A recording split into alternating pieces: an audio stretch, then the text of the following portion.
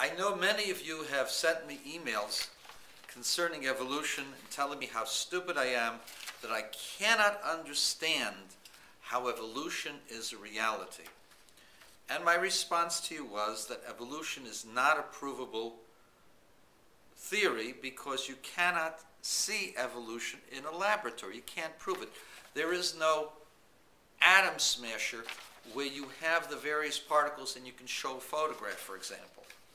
You, what you have is you have fossils, you have uh, similar creatures, but you really don't have evidence that one thing caused another thing.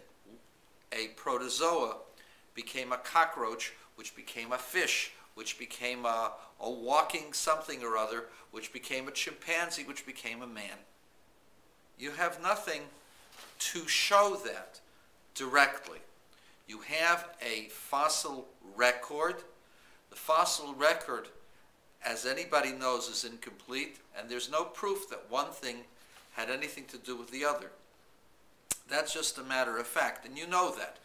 The, the reason for the acceptance of evolution is the preponderance of certain things that seem to follow evolution. Now, evolution doesn't predict very many things.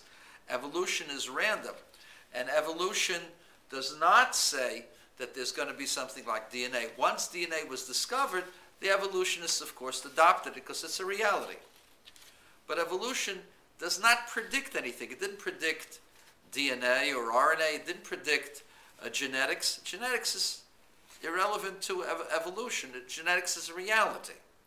Evolution is the development of one species into another, the origin, origin of species. And it's a theory. It's a nice theory.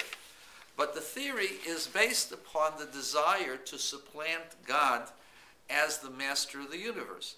Now, those of us who believe don't need to throw out God if you accept evolution.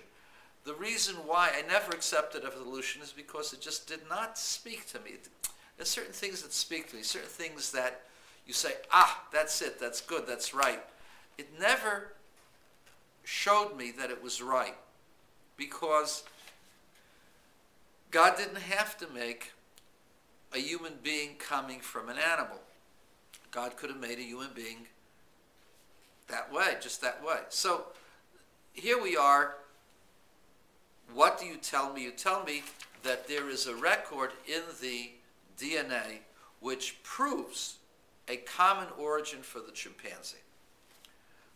That there is a there was an, uh, uh, an ape-like creature which is the ancestor of both the chimpanzee and the hominids, and the reason for that is because we share certain elements on the genome, on the um, genetics, the genetic elements of human DNA and chimpanzee DNA. That's the best that I can articulate it. I know that there are technical terms. I understand the technical terms. I just don't remember. My memory ain't that good nowadays. So we'll just keep it very simple. The KISS method. Keep it simple, stupid. One stupid rabbi. Now listen to me.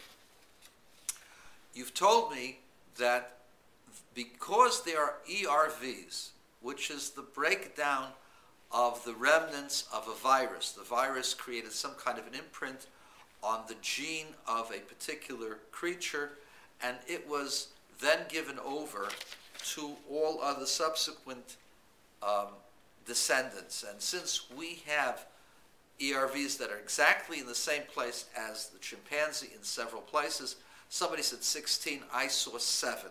I saw that there are seven. Maybe they discovered a few, few others. And that's a proof that we have a common ancestor. There are many factors that make this not a proof.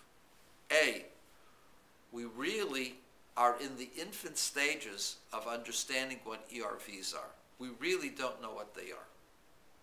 People claim that they know what they are, but the truth is we as yet do not really understand them fully.